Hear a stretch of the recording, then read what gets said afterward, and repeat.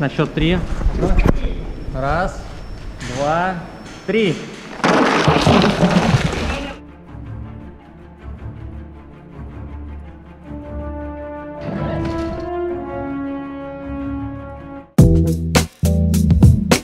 Салют, Уперпосты! Вновь рад приветствовать вас на своем канале. Сегодня очередной разбор, анализ трейлера. На этот раз а, я решил а, посмотреть и проанализировать трейлер а, к фильму «Бэтмен» с Робертом Паттисоном, который выйдет в 2021 году. Ну, уже есть трейлер, на, на мой взгляд, очень прикольный, такой мрачный, нуарный, немножко в стиле Джокера, наверное, последнего. Каждый новый Бэтмен становится все мрачнее, все темнее. Снимал этот фильм крутейший оператор Грег Фрейзер. Э, советую всем подписаться на его соцсети и следить за его работами. Предлагаю начать с изучения странички этого фильма на MDB. И мы видим, что этот фильм снимался на камеры Ari Alexa LF и Ari Alexa Mini LF. Э, уже разбирал э, трейлер к фильму, к фильму «Дюна», и там абсолютно такая же схема использовалась. То есть видим, что оператор использует Alexa LF как основную камеру и Mini LF как э, дополнительную камеру э, для каких-то различных ситуаций, где Alexa LF либо слишком тяжелая, либо слишком габаритная.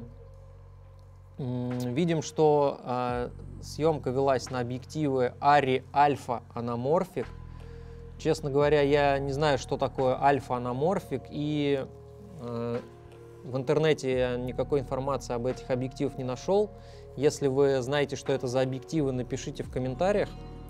Но мне кажется, что это какая-то модификация мастера анаморфик под LF камеры. Вот, э, формат э, съемки был ARRI RAW 4,5К, такой же, как в Дюне. И э, разрешение сторон было 2.39 к 1. А, начинается трейлер с такого кадра, где мы, по сути, а, не видим а, лицо актера, то есть он у нас даже в принципе сидит не на фоне каком-то светлом, то есть единственная часть тела, которая у него попадает на светлый фон, это рука.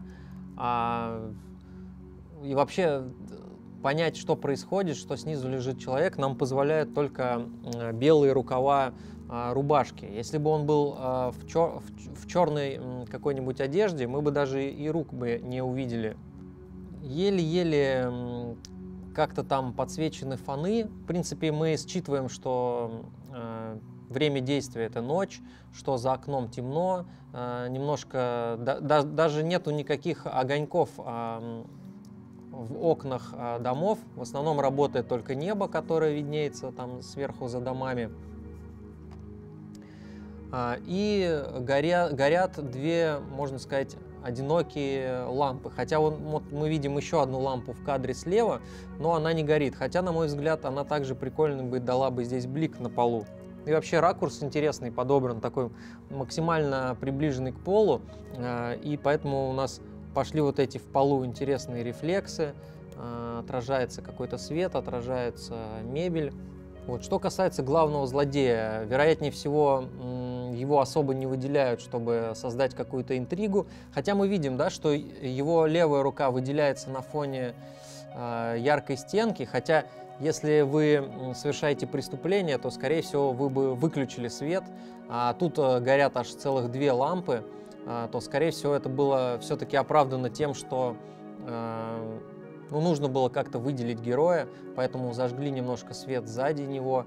И э, вот мы видим здесь дверь, а, она также немножко подсвечена сзади, чтобы и правая часть персонажа хоть чуть-чуть довыделялась на фоне этой двери.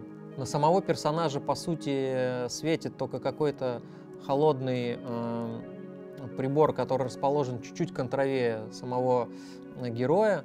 Он, по сути, тут подсвечивает э, немножко изоленту. Этот же прибор подсвечивает и героя, лежащего снизу, поэтому мы видим белые рукава, то что над ними какой-то яркий источник, э, немножко контровым, который э, не проходит на лицо злодею, но обрисовывает в целом всю эту композицию. Вот. И дальше мы, когда переходим на крупный план злодея, мы видим, что этот источник – стал светить в два или в три раза ярче. Э, не знаю, чем это обусловлено, видимо, просто э, вот именно вот в этой ситуации оператору уже не хватало каких-то ярких источников, то есть мы видим, что в самой комнате полная темнота, а до этого на общем плане мы видели какую-то там стоящую на столе лампу, которая ярко светит, а в этом кадре мы, по сути, не видим каких-то ярких источников, только какой-то желтый блик э, с правой стороны.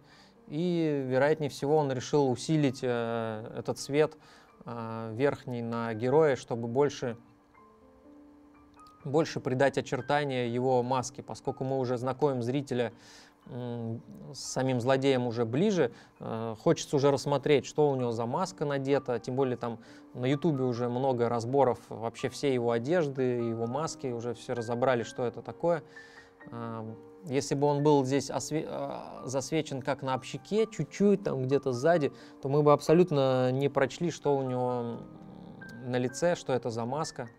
В этом кадре, я так понимаю, это в руках фонарик, некого детектива, который его нашел. Э, скорее всего, также этот холодный прибор, который светил на злодея и, там, и героя, э, тот же принцип и используется. Он продолжает светить сверху, подсвечивает вот эти вот эту мебель за ним, самого актера, лицо его. Ну и уже вот этот динамичный свет там создается каким-то фонариком. Эта сцена, на мой взгляд, абсолютно выполнена исключительно какими-то, можно сказать, светом, который висит в кадре. Хотя он по диммеру опущен э, довольно-таки сильно, но при этом видим, видим, что он дает какие-то контровые, э, дает контровой здесь. То есть, скорее всего, этот свет доходит и до парня, который вот здесь стоит, этот свет доходит до парня, который здесь стоит. Э, какой-то свет там из-за дверей выходит на этих полицейских. И также, скорее всего, использовалась какая-то холодная грунтовочка. Мы видим на ребятах сзади холодный свет, проходит им на одежду, на головы. Скорее всего, какой-то сзади холодный контровой, который не работает на персонажа от камеры. Он расположен за ним. В принципе, он и на этих ребят тоже не проходит. А, он проходит только вот на, на, на тех ребят, которые расположены сзади. Вот видим, что самого Бэтмена освещают также этим верхним источником. То есть, по сути, здесь все кадры в этой сцене освещены э, каким-то верхним источником, который вот бликует э, в его э, в таких в металлических э, конструкциях одежды, в резине. Возможно, здесь что-то, кстати, и добавлено ему, потому что у него правая часть лица более ярче высвечена. Либо просто сам верхний источник смещен немножко вправо, чтобы э, не засвечивать ему все лицо, а чтобы он оставался немножко все-таки боковым. При этом так э, выставили актера, чтобы его силуэт а, очерчивался за счет того, что за ним э, ярко подсвечена стенка, и мы э, видим вообще яркие источники какие-то в кадре. Всегда хорошо работает. Вот если бы полностью убрать вот это вот это вот яркое, яркое пятно, то кадр превратится в супер скучный и такой как будто Э, неинтересный, неинформативный. Вот э, добавляя вот такие вот яркие источники в кадре, на темных кадрах, да, то есть лицо остается темное, а, вообще все в, таки, в таком мрачнике, но сзади видим какую-то яркую лампу и уже понимаем, ага, вот этот предмет яркий, вот этот темный, и нам уже не кажется, что у нас типа просто экран э, компьютера довольно-таки темный, а мы уже понимаем, что это именно персонаж стоит в тени. При этом оператор довольно-таки смело оставляет его левую часть абсолютно сливающейся с черным фоном, да, то есть как бы обычно мы в, каких, в таких ситуациях поступаем. Ставим еще контровой слева, чтобы здесь обрисовать э, силуэт э, Бэтмена, ну или вообще любого другого персонажа. Э, но в данной ситуации ну, оператор идет осознанно на то, чтобы использовать всего один какой-то источник на актерах, э, максимум там какой-то контровой имитирующий блик от лампы. Э, ну, в общем, такой творческий минимализм. Также абсолютно никак не подсвечен персонаж по переднему плану, э, хотя обычно мы в таких ситуациях ставим еще какой-то контровой, чтобы немножко подчеркнуть, что здесь стоит герой. Но опять же, новый Бэтмен обещает быть супер мрачным, супер темным, поэтому минимум света. Где-то точечно что-то подсвечивается, но не глобально не высвечивается, не прорисовывается. Все время в такой полу полутайне остается. Такой интересный портрет, э, снятый на улице, но, скорее всего, здесь какой-то источник света светит ему на лицо, и, возможно, ну, видно даже визуально, что он немножко отличается по температуре от дневного света. Э, скорее всего, где-то на общем плане этой сцены там есть какие-то репортеры, которые светят там на камерными каким-то светом, потому что это пресс-конференция. А, то есть, скорее всего, этот контровой идет э, и умышленно сделан таким более искусственным. Но при этом основной свет у нас работает сверху, в три четверти к актеру, делает ему рисунок на лице, вот э, подсвечивает э, немножко сверху. И при этом все со стороны камеры затемняется, чтобы вот эта часть лица оставалась в тени.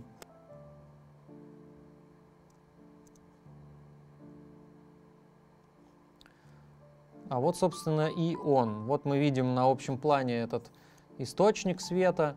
А, то есть э, время действия уже такой поздний вечер, а, но при этом еще идет какой-то свет от неба, все это подсве подсвечиваются герои, вот видно контровые. Возможно, это был искусственный свет или реально какое-то небо давало еще какой-то свет. А, на мой взгляд, это еще реальное небо. Скорее всего, снималась сцена каким-то вечером или в пасмурный день, просто прикрывалась диафрагма. Ну вот мы видим источник, который как бы от репортера э, светит на нашего героя. Ну и от камеры идет такое э, глобальное затемнение, чтобы всех вот этих вот э, людей э, не высвечивать, не видеть их спины, а, видеть в основном только какие-то силуэты и, и контровые. Да, но вот видим, что это все-таки день еще, то есть э, небо реально работает, подсвечивает здания, подсвечивает людей. А, судя по всему, спины людей в предыдущей сцене все-таки не затемнялись, потому что справа мы видим гигантское количество там, деревьев, скорее всего, еще какие-то здания, которые э, являются естественным затемнением. Вот эти люди, возможно, затемнялись дополнительно а, возле камеры. А может и не затемнялись. Если как бы уже смеркается, уже темно, и здания они еще естественную тень создают, то не всегда нужно прям дополнительно затемнять.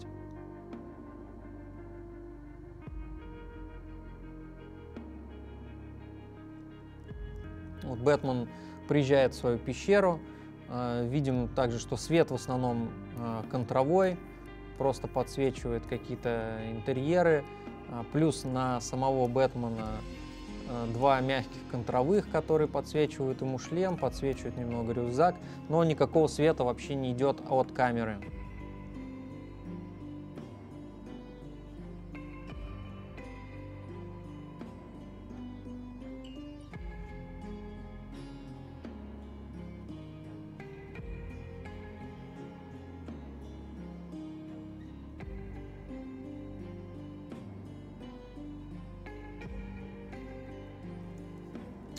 Также заметил, что не супер красивый портретный свет ставят на самого Бэтмена а, в какие-то тревожные моменты, но я тут других моментов в этом фильме не увидел. То есть в основном свет всегда а, немножко верхний, так, чтобы у него под глазом оставалась тень, чтобы подчеркнуть фактуру подбородка, чтобы сделать лицо таким более грубым. То есть свет ставят не рембрантовский, не в три четверти, там, не боковой, а именно такой всегда сверху, чтобы были тени, фактура. При этом нету никаких контровых, а, никак он не подсвечен ни сзади, э, ни сверху. Просто один э, рисующий какой-то такой средней мягкости свет –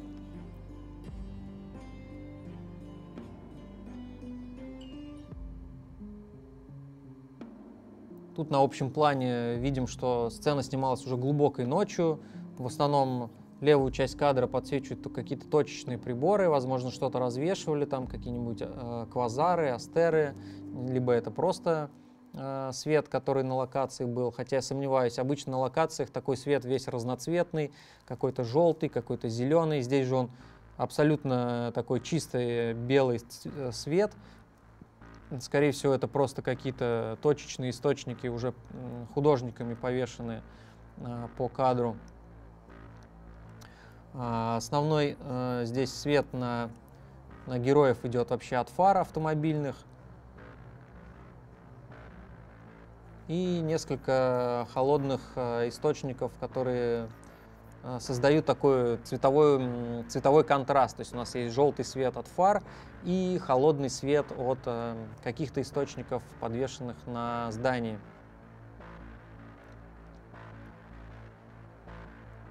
Интересно сделаны вспышки на лице а, у злодея. Один прибор стоит как контровой работает, подчеркивает его силуэт. И один прибор гораздо меньшей яркости работает ему на лицо как рисунок, дублирует тот же самый прибор, который светит на него и без, без вспышки. То есть они стоят, скорее всего, просто рядом, и характер освещения на лице в основном остается прежний. То есть меняется просто яркость лица, температура из более холодного в более теплый. Хотя странно, обычно э, вспышки молний на улице делают э, именно э, холодным светом. То есть, э, скорее всего, мы чаще всего замечаем, что свет на лице актера, допустим, теплый, а вспышки Хотя, возможно, это не вспышки от молнии, хотя мы видим в кадре дождь, а, но вполне возможно, что это вспышки от выстрелов. А они в таком случае обычно делаются теплыми. Ну, опять же, посмотрим, дождемся фильма, и будет уже понятно, что это за вспышки. Но вообще, как правило, молния делается именно холодной, синеватой такой. Вообще, конечно, на моем экране выглядит э, супер темно, а, но мы должны понимать, что это фильмы снимаются для кинотеатра. И когда мы в кинотеатре сидим в темном зале и яркий прожектор, э, проектор светит на белый экран, то все эти кадры выглядят немного светлее. И поэтому, когда э, ребята делают цветокоррекцию, они делают цветокоррекцию в основном под кинотеатральные э, площадки. Э, когда они смотрят цветокоррекцию даже не на экране Э, э, телевизора или какого-то монитора, они смотрят прямо на проекторе, то есть делают цветокоррекцию по проектору.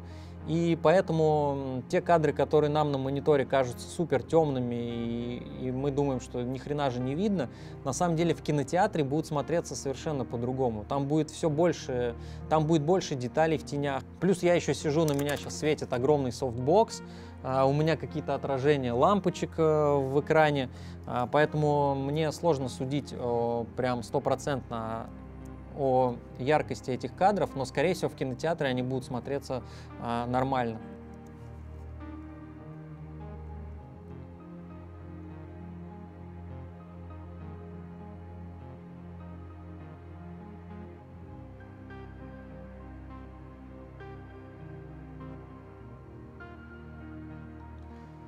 А, ну вот, скорее всего, это кадр из той сцены, где, а, где я говорил, что на чувака светит э, вспышки от молний.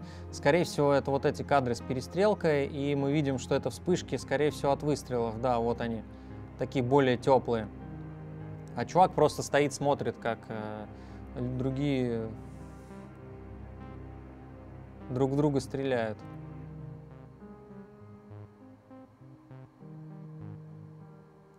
Вот, и возвращаясь к первой сцене, мы э, видели, что свет был контровым, а, но изначально-то, наверное, все понимали, что герой будет поднимать голову наверх, либо его попросили не вот так сидеть неровно, а именно поднять наверх, чтобы он, а, чтобы его лицо вышло в свет, который светит на него, и получило такой мягкий рисуночек. Уличная, э, уличная сцена вот драки с Бэтменом выглядит тоже довольно-таки мрачной. А, видно, что здесь а, какой-то источник света дает жесткий контровой, дает блики в одежде, и при этом еще какой-то мягкий источник сбоку а, такой же температуры дает им какой-то мягкий рисуночек еще боковой, то есть более четко подсвечивает. При этом мы не видим, чтобы на улице использовался какой-то дым, чтобы немножко подвыбелить э, задник. Хотя, возможно, он и использовался, но опущен на цветокоррекции максимально еще. Вообще контраст там буквально на 1% э, немножко меньше, чем на переднем плане. Скорее всего, там и есть дым, но э, не супер как-то заметно работает.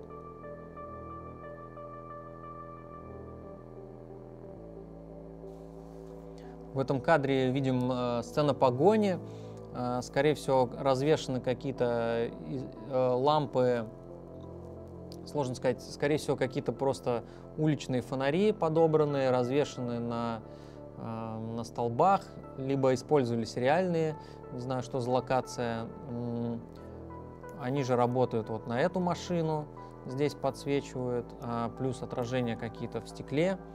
А, ну, а на героя, скорее всего, работает какое-то такое световое пятно либо сверху, а, либо, возможно, сбоку, так, чтобы край машины немножко затемнял. То есть мы видим, что у него сверху лицо чуть темнее, а, снизу чуть светлее, и при этом, возможно, какое-то заполнение еще от камеры идет ему на лицо, чтобы вот здесь немножко из темноты достать его глаза. Да, мы, собственно, и видим э, у него в глазу блик от этого прибора. Скорее всего, на капоте э, закреплен прибор. И плюс какие-то вот блики вот так вот проходят сюда ему э, под нос.